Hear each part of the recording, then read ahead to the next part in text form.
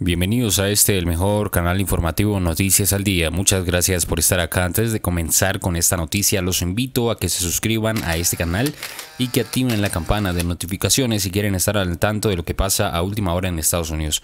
¿Qué dijo Donald Trump en su primera entrevista como expresidente? Insistió en sus infundadas acusaciones, acusado de fraude electoral y criticó al Partido Republicano. El expresidente de Estados Unidos Donald Trump brindó este miércoles la primera entrevista desde que dejó la Casa Blanca el 20 de enero con su amigo Rush Limbaugh, quien fue una víctima tardía. Un comunicador conservador acogedor insistió en una conversación por sus acusaciones infundadas de fraude y criticó al Partido Republicano. Trump en el Mar-a-Lago Golf Club en Florida elogió a Limbaugh a través de una intervención telefónica en la cadena de televisión Fox News y Limbaugh lo ha entrevistado muchas veces. Rush cree que ganamos, yo también creo que ganamos las elecciones generales. Rush cree que ganamos, se ha resuelto. Mucha gente está así, creo que creo que el expresidente también confirmó. No creo que esto le suceda a ningún demócrata. Si eso le sucede a los demócratas, habrá disturbios en todas partes. No tenemos el mismo apoyo a algunos niveles del sistema republicano, pero tenemos buenas razones para apoyar republicanos, así agregó. Rush pensó que habíamos ganado y estaba muy enojado por eso. Dado que los medios de comunicación predijeron cuatro días después de celebrar al candidato presidencial demócrata Joe Biden, Trump ha insistido en sus acusaciones de fraude electoral, pero no brindó pruebas y no reconoció a sus rivales hasta que las cámaras de los comunes aprobó la victoria.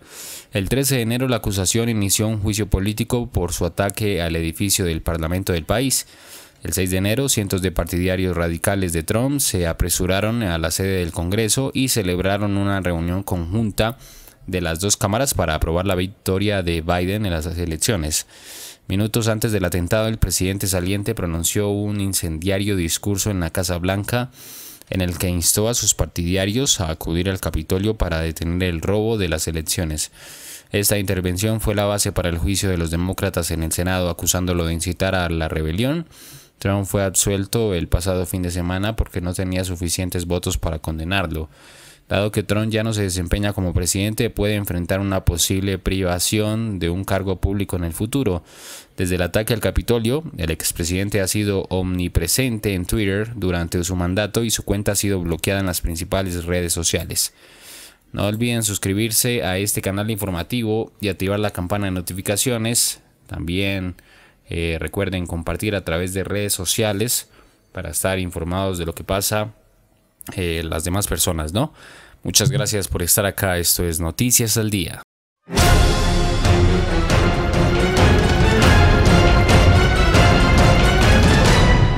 Si no te quieres perder de los últimos acontecimientos que pasan en el mundo, suscríbete y activa la campana. Somos Noticias al Día.